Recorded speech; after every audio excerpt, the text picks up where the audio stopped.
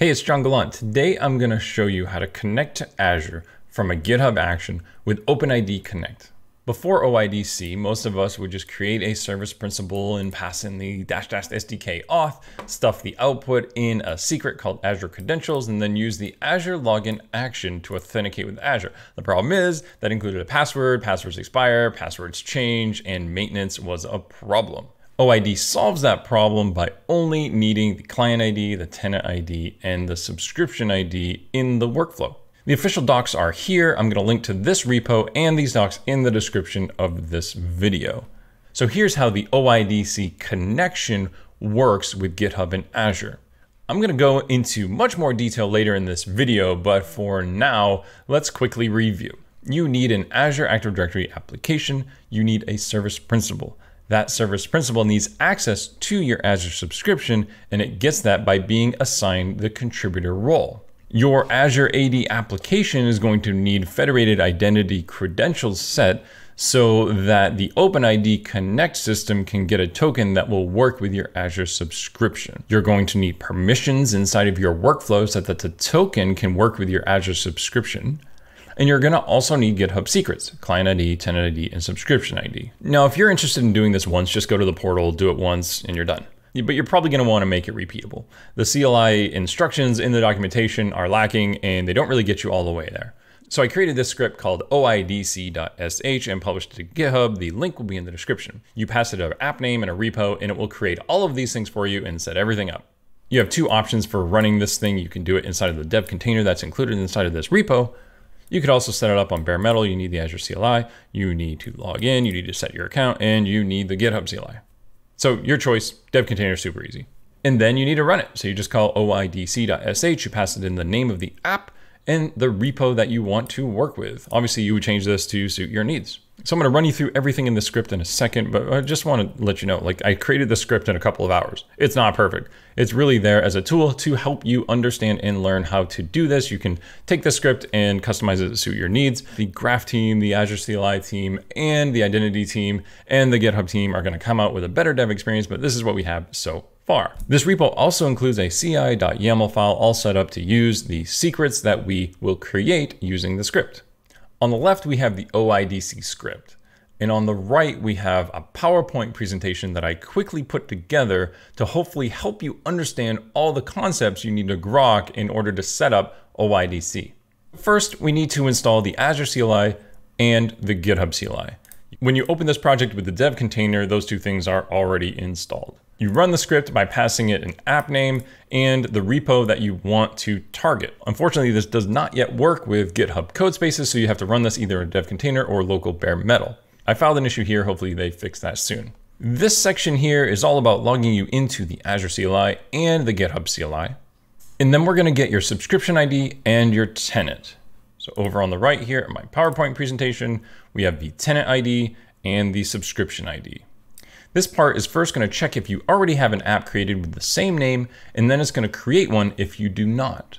So let's add that on the right. We have the Azure AD application, and that has an app ID and object ID. Then we're going to check if the service principal exists and create it. If not, there's our service principal. So the service principal app ID maps to the Azure AD app ID. Then we're going to call AZ role assignment create to give the service principal contributor access to the Azure subscription. And then we're going to get the app object ID, which is needed to create the federated identity credentials. Right now, that is a REST post call to the Graph API, and we need to use the app object ID there.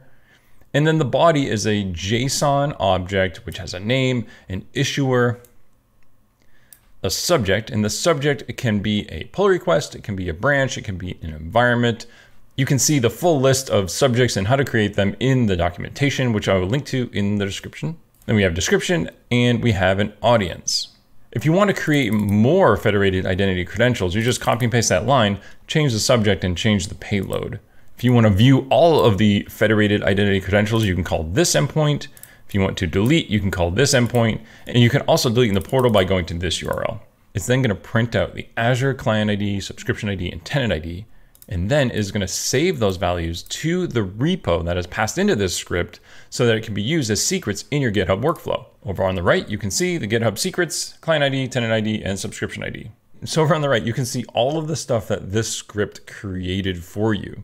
Created the Azure AD application, created the service principal, it did the role assignment, and created the app federated identity credentials and the GitHub secrets. Now let's take a look at what the GitHub workflow would look like to use OIDC. The first thing you need to do is add permissions ID-token write and contents read. Contents read is needed when your GitHub repository is private. You're then going to use the Azure login action and pull the client ID, tenant ID, and subscription ID from the GitHub secrets. So over on the right, you can see what that looks like. You have the GitHub workflow, you got the workflow permissions, you have the Azure login GitHub action. The Azure login GitHub action will pull those secrets. It'll recognize that you're trying to do OIDC auth. It'll call the OpenID Connect endpoint using those parameters, and it will use the federated identity credentials specifications that you posted to that REST endpoint to try and get that token. And we have another step in here to run a couple of Azure CLI commands just to verify that it is working.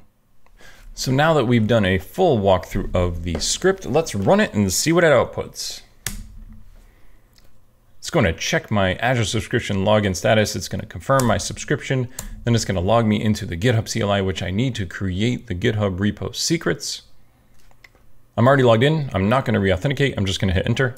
It's getting my sub ID and my tenant ID. Now it's going to create an Azure Active Directory application. The script contains a couple of sleep operations to make sure that the app and the service principal have time to be created and propagated. The service principal has been created.